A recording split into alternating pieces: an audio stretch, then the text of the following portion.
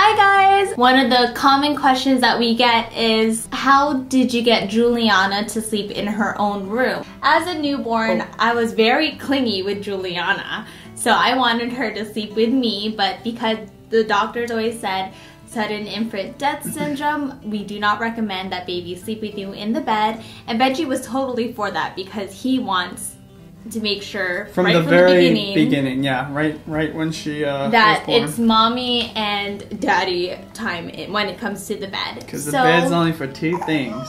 So we had our pack and play in um, our bedroom, which was right next to the bed.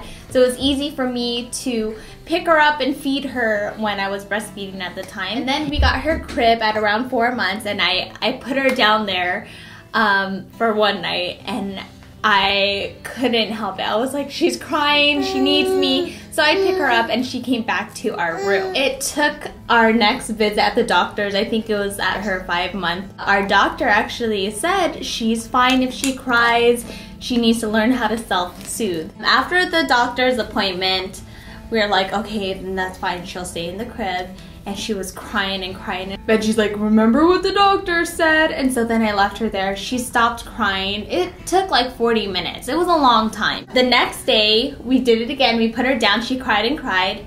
It was 20 minutes. And then the third day, she like cried for five minutes and went to sleep. And then ever since then, it's like, oh. I thought the whole point of this video is to tell them how we did that. Yeah, You didn't really tell them. You just tell them what happened. That's how we did it. No, there's We let her cry. It. Okay, how? My three things. Okay, what's your? First two are techniques. One, you have to make the crib as familiar a place as her her bed in the room was. So, for example, her pack and play, we always put a certain blanket down, and um, Judy get, would even put her clothes in there too. So, like, she would have the smell of her uh, scent oh, in there. Let me go ahead and get her milk. You can finish. Okay.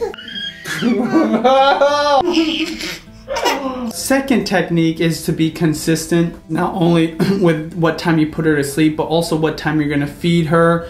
Uh, and also put, uh, give her a bath, but not just the feeding right before the sleep, the feeding before the feeding before the sleep because that's going to determine if she's going to be hungry or not. By the time 9 o'clock rolls around, we can feed her again and she's hungry and she drinks all her mm-hmm. milk. The third tip is make sure she's not napping right before her bedtime. Yeah. So we don't let her nap after 6.30. Like that is just well, cutting it close. cat naps. Regardless of anything I say, if Julian is crying, I will go in there and at least check on her, whether maybe she's like, you know, mm-hmm. all tangled up in toys or oh, she's yeah. wet from her diaper. Yeah. I wake up in the middle of the night to um, change her diaper and feed her. So whenever she cries, she needs something in the middle of the night for sure. So I just want to share with you, I'm sure there's other tips and techniques that other parents do.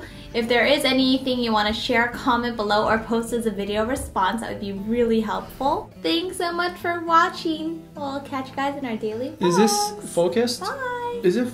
It's focused right here. We're not done. You just blow in her face? no, she had hair in her eyes. I forgot what the second part was. Alright.